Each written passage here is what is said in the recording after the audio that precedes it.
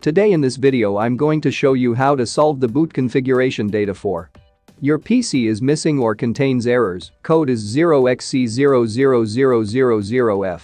To fix this problem follow me first open the CPU cabinet case.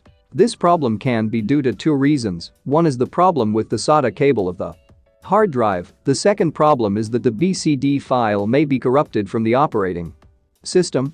First we will check the SATA cable and hard disk power cable. You must follow the steps that I am doing. After going to the hard disk and SSD section, first open the SATA cable, then open the hard disk power cable. What happens a lot of times when SATA cable and hard disk power cable lose connection?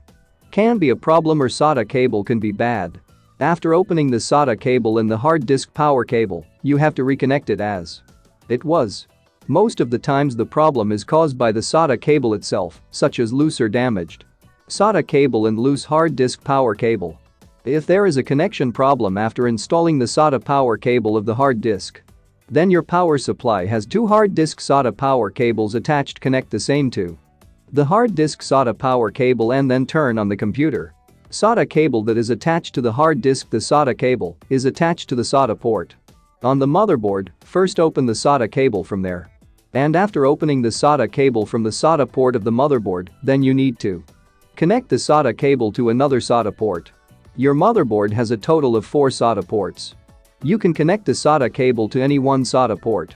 After doing these things, turn on the computer, I hope the computer will start without any problem. You'll see that the computer will start without any problem. This way you can fix the computer too.